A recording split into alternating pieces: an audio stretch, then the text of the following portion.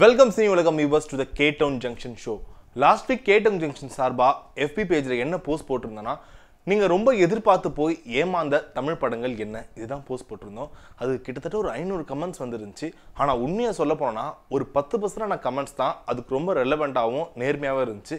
மிச்ச கமெண்ட்ஸ்லாம் எப்படி இருந்துச்சுன்னு ஷோ முடிகிறப்ப சொல்கிறேன் ஆக்சுவலாக ரொம்ப எதிர்பார்த்து போய் ஏமாந்த படங்கள் இதை ஒரு ரெண்டு கேட்டகரியாக பிரிக்கலாம். மொதல் கேட்டகரி நம்மளுக்கு ரொம்ப பிடிச்ச ஹீரோவோட படத்துக்கு போயிருப்போம். நம்ம அந்த படம் ஒரு மாதிரி இருக்கும்னு எதிர்பார்த்துருப்போம். பார்த்தா நம்மளோட எக்ஸைட்மெண்ட்ஸ் எல்லாம் ஃபுல்ஃபில் பண்ணியிருக்காது. அது ஒரு வகையில் நம்மளை ஏமாத்தின படமாக சொல்லலாம். இன்னொரு வகை வந்து ஃப்ரெண்ட்ஸ் எல்லாமே சொல்லுவாங்க பா செம்மையாக இருந்துச்சு படம் சூப்பராக இருந்துச்சுன்னு சொல்லுவோம். அவங்கள நம்பி போய் படத்தை பார்த்துருப்போம். அது நம்மளுக்கு கொஞ்சம் ஏமாற்றமாக இருந்திருக்கும். இன்னொரு வகை வந்து ட்ரெய்லர்லாம் பயங்கரமாக இருக்கும். படத்தோட ஃபர்ஸ்ட் லுக் போஸ்டர் எல்லாமே சூப்பராக இருக்கும். அதை நம்பி போய் படத்தை பார்த்துருப்போம். அதுவும் நம்மளை ஏமாற்றம் அடைஞ்சிருக்கும். இப்படி தான் நம்மளை ஏமாந்த படத்தோட லிஸ்ட்லாம் சொல்லியிருப்போம். இந்த மாதிரி மோஸ்ட் ரெலவெண்ட்டாக நிறைய பேர் சில படங்களை ரிப்பீட்டடாக சொல்லியிருக்காங்க. அந்த கமெண்ட்ஸ்லாம் என்னென்னு இப்போ பார்ப்போம். முதல்ல விஜய் யூமின்றவர் என்ன சொல்லியிருக்காருன்னா I am a Vijay fan but I like Vikram and Suriya. But recent movies are not very good and they're very good actors but ரீசெண்டாக அவங்க படம்லாம் சுத்தமாக சரியில்லைன்னு சொல்லியிருக்காரு. இதை கிட்டத்தட்ட விக்ரம் ஃபேன்ஸும் சூர்யா ஃபேன்ஸும் ஒரு வகையில் ஏற்றுப்பாங்க நினைக்கிறேன்.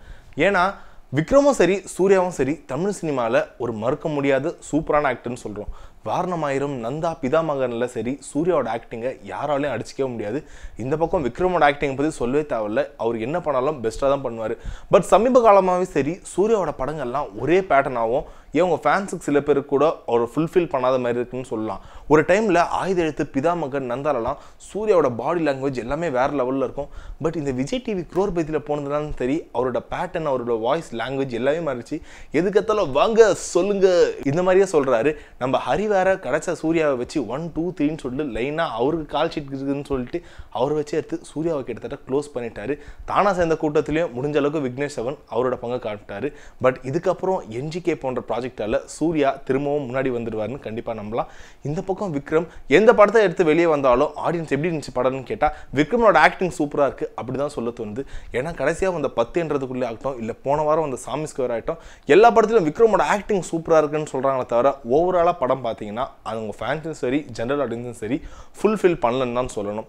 ஸோ இந்த கமெண்ட் ஓரளவுக்கு ரெலவெண்ட்டான கமெண்ட் பரணிதரன்றவர் என்ன சொல்லியிருக்காருன்னா இவரும் நான் தளபதி ரசிகன் நான் எதிர்பார்த்து ரொம்பவே ஏமாந்த படங்கள் என்னன்னா புலி சுறா பில்லா டூ ஏகன் விவேகம் அஞ்சான் தானா சேர்ந்த கூட்டம் சாமி ஸ்கொயர் பத்துன்றதுக்குள்ள பிரியாணி அழகுராஜா கோச்சடையான் லிங்கா விஸ்வரூன் டூ தூங்காவனம் ராஜா பாட்டை ஆழ்வார் கத்தி சண்டை அப்படின்னு நிறைய படத்தை சொல்லியிருக்காரு. மோஸ்ட்டாக இந்த படம்லாம் பார்த்தீங்கன்னா இவருன்னு இல்லை. இந்த கமெண்ட்ஸில் நிறைய பேர் ரிப்பீட்டடாக சொன்ன படங்கள் தான் குறிப்பாக கடந்த ரெண்டு வாரத்துக்கு முன்னாடி வந்த சீமராஜாவாக இருக்கட்டும் இல்லை சாமி ஸ்கொயராக இருக்கட்டும் நிறைய பேர் இந்த கமெண்ட்டை ரிப்பீட்டடாக போட்டிருந்தாங்க. மேபி டூ தௌசண்ட் எயிட்டீனில் ரொம்ப எதிர்பார்த்து ஏமாந்து போன படங்களில் சாமி ஸ்கொயரும் சீமராஜாவும் கண்டிப்பாக ஒரு இடம் பிடிச்சிருக்குன்னு சொல்லலாம். ஃப்ரான்சிஸ் கெனடி இவர் என்ன சொல்லியிருக்காருன்னா ஒரு ஒரு டேரக்டர் போட்டு அவங்களோட படங்களில் எது ரொம்ப ஏமாத்துன்னு போன படம்னு சொல்லியிருக்காரு மிஷ்கினுக்கு முகமூடி அமீர் ஆதி பகவான் ஜிவிஎம்க்கு பச்சை கிளி முத்துச்சரம் கே எஸ் ரவிக்குமாருக்கு லிங்கா தரணிக்கு குருவி சரண் காசல் சங்கருக்கு ஐ லிங்குசாமிக்கு அஞ்சான் சிம்புக்கு ட்ரிபிள் ஏ கிட்டத்தட்ட எல்லா டாப் ஹீரோஸ் படமும் வந்துச்சுல மேபி இவர் சொல்லியிருக்கிறது எல்லாமே ஓரளவுக்கு அவங்க ஃபேன்ஸும் சரி ஜென்ரல் ஆடியன்ஸும் சரி அக்செப்ட் பண்ணிக்கிற மாதிரி தான் இருக்குது ஏன்னா இந்த படங்களுக்கெல்லாம் ஹைப் ரொம்ப அதிகமாக இருந்துச்சு. பட் படம் தேட்டரில் எதிர்பார்த்த அளவுக்கு நம்மளை யாரையும் ஃபுல்ஃபில் பண்ணலை தான் சொல்லணும். சிம்பு கிரேசி இவர் என்ன சொல்லியிருக்காருன்னா all Vikram Prabhu and Gautham Karthik movies are totally வேஸ்ட்னு சொல்லியிருக்காரு இவர் ரொம்ப ஓப்பனாக ஒரு உண்மையை போட்டு உடச்சிட்டார் கூட சொல்லலாம். ஏன்னா விக்ரம் பிரபு ஸ்டார்டிங்கில் அவர் லான்ச் ஆகும்போது கும்கி இவன் வேற மாதிரி சிகரம் தோடு இந்த மாதிரி படங்கள்லாம் ஓரளவுக்கு நல்ல நல்ல கதையோட அம்சமாகவும் பார்க்கும்போதே செம்ம எங்கேஜிங்காக இருந்துச்சு. பட் அதுக்கப்புறம் ரீசெண்டாக ஒரு எடுத்த கடைசி ஒரு அஞ்சு படம் கூட வச்சுக்கலாம். வீர சிவாஜியாக இருக்கட்டும் சத்திரியன் இப்போ நெருப்புடா அது இதுன்னு சொல்லிட்டு அவரோட ஃபேன்ஸ்கேப்லாம் ஒரு படம் வந்துச்சான்னு கேட்குற அளவுக்கு தான் அவரோட படம் எடுத்த சப்ஜெக்ட்லாம் இருக்குது நார்மலாக ஒரு ஹீரோ இது மாதிரி படம் பண்ணாவே அப்படி கழுவி ஊற்றுவாங்க பட் விக்ரம் பிரபு சிவாஜி கணேசன் பிரபு இந்த மாதிரி ஃபேமிலியெல்லாம் வந்தால அவரோட படங்களுக்கு யூஸ்வலாக பெரிய எதிர்பார்ப்பு இருக்குது பட் படங்கள் எதுவுமே சரியாக போகிறது தான் உண்மை. இந்த பக்கம் பார்த்தீங்கன்னா கௌதம் கார்த்திக் முதல் படம் மணிரத்னம் லான்ச் பண்ணாலும் அந்த படமே ஒரு ஃப்ளாப் படமாக தான் இவருக்கு காமிச்சிது. பட் இருந்தாலும் அதுக்கப்புறம் பார்த்தீங்கன்னா இவன் தந்திரன் ரங்கூன் இந்த மாதிரி படங்கள் அவர் ஓரளவுக்கு நல்ல ஆக்டர்னு சொல்ல வச்சாலும் அதுக்கப்புறம் ஹரஹர மகாதேவிக்கு இருட்டறையில் முரட்டு குத்துன்னு கிட்டத்தட்ட அடல் கண்டென்ட் படத்தில் மட்டும் தான் இவர் நடிப்பார்னு ஒரு முத்திரை கொடுத்துறாங்க கடைசியாக ரொம்ப எதிர்பார்ப்புக்கு நடுவில் வந்த மைஸ்டர் சந்திரமொழி படமும் ஃப்ளாப் ஆனதால் இவரோட படங்களே டோட்டல் வேஸ்ட்னு ஒதுக்கிட முடியாது. பட் இருந்தாலும் இவர் இந்த கமெண்ட்டில் சொல்லியிருக்காரு. அதுக்கும் சில பேர் லைக் போட்டிருக்காங்க. இப்போ நம்ம கதைக்கு வரும். என்னடா ஐநூறு கமெண்ட்ஸ் கிட்ட போட்டிருக்காங்க? மொத்தமே நாலு கமெண்ட் தான் படிச்சிருக்கேன். இதுலயே எல்லாம் அடங்கிச்சான்னு கேட்கக்கூடாது. ஏன்னா வெறும் பத்து பர்சன்ட் கமெண்ட் தான் இந்த மாதிரி ஜென்ரலான கமெண்ட்ஸ் தான் போட்டிருக்காங்க.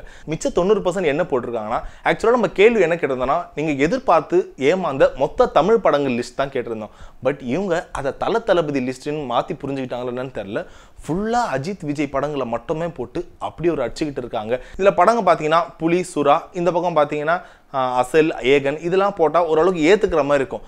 பட் இவங்க போட்டுக்கிறது பார்த்தீங்கன்னா வேதாளம் வீரம் எண்ணெய் எறிந்தாலும் சொல்லிட்டு மங்காத்தா இப்படி மாதிரி நல்ல படம் போடுறாங்க. இந்த பக்கம் பார்த்தீங்கன்னா தெரி கத்தி அந்த மாதிரி படம்லாம் போடுறாங்க. சில பேர் இன்னும் தாண்டி விஸ்வாசம் சர்க்கார் இந்த படங்கள் கூட போடுறாங்க. இது வந்து எதை காட்டுதுன்னா படம் எப்படி வேணாலும் வரட்டும். நல்லா இருக்கும் நல்லா இல்லையோ நீ விஜயை பற்றி திட்டினா நான் அஜித்தை பற்றி திட்டுவேன். இந்த ஒரே நோக்கோட தான் இருக்குது இதில் சில பேர் நியூட்ரல் ஃபேன்ஸ்ன்ற பேரில் சினி உலகம் உங்களுக்கு வேறு வேலையே இல்லையா? ஏன் இந்த மாதிரி சண்டை மூட்டையே விட்டுருன்னு சொல்லி எங்களையும் வேணும்னு சொல்லிட்டு என்னென்னவோ திட்டுறாங்க. ஆக்சுவலாக நாங்கள் கேள்வி கேட்டு தரமோ ஜென்ரலாக தான் கேட்டிருக்காங்க. அவங்க அதை தப்பாக புரிஞ்சுக்கிட்டாங்கன்னா என்னன்னு தெரியல. தொண்ணூறு பர்சன்ட் பேர் தல தளபதி சண்டையை இங்கேயும் எடுத்துகிட்டு வந்திருக்காங்க. இது எந்த அளவுக்கு நியாயம்னு தெரியல. ஏன்னா இவங்க சண்டை போட்டு அந்த பழி தூக்கி எங்க மேல போடுறாங்க. மேபி இதுக்கப்புறம் வர போஸ்ட்லயாச்சு நாங்க கேட்குற கேள்விக்கு ஓரளவுக்கு ரெலவெண்ட்டாக ஜென்ரல் மைண்டா ஒரு நியூட்ரல் பதில் சொன்னா இன்னும் சூப்பரா இருக்கும். ஏன்னா தமிழ் சினிமா வந்து இப்போ எந்த மாதிரி போயிடுச்சுன்னா ஹீரோக்காக படம் ஓடுறது மாதிரி நல்ல கதையோட இருக்க படம் தான் அதிகமா ஓடுது. ஸோ இப்போ நம்ம வந்து அஜினியா கமலா அஜிதா விஜயா தனுஷா சிம்புவான்னு சொல்லிட்டு ஹீரோக்கு ஹைப்ஸ் கொடுத்து அவங்களோட படங்களே கொஞ்சம் தரம் கம்மியாக வரது. நம்மளால தான் அதிகமாகுதுன்னு சொல்லணும். ஸோ நம்ம நல்ல படங்களை ஆதரிச்சா தான் அவங்களும் நல்ல படங்கள் கொடுக்கறது விரும்புவாங்கன்னு சொல்லிட்டு தமிழ் சினிமா இப்போ ரொம்ப ஆரோக்கியமாக போயிட்டுருக்கு. இதை எந்த அளவுக்கு கூட்டிகிட்டு போகிறது நம்ம கையில் தான் இருக்கு. உங்கள் கமெண்ட்ஸ்லேயும் இருக்குன்னு சொல்லிட்டு இந்த வாரம் கேட்டவுன் ஜங்ஷன் ஷோவை முடிக்கிறோம். அடுத்த வாரம் கேட்டவுன் ஜங்ஷன் போஸ்ட்டில் என்ன போஸ்ட் போடலான்னு சொல்லிட்டு உங்கள் விருப்பம் என்னன்னு சொல்லிட்டு கீழே கமெண்ட் பாக்ஸில் போடுங்க. மறக்காம சினி உலகம் சேனலில் சப்ஸ்கிரைப் பண்ணுங்கள் இங்கே படம் பார்க்கும்போது அந்த ஒரு ஃபீல் இருக்குது. லைக் ஆடியன்ஸ் எல்லாம் யூனோ ஆல் அவுட் ரொம்ப மொக்கையாக இருக்கு நீங்கள் நடிச்சிருக்கிறது. என்ன நீங்கள் ஒர்க் ஷாப் ப்ராக்டிஸ் பண்ணீங்க? அங்கே யார் இருக்கா பார்க்குறீங்க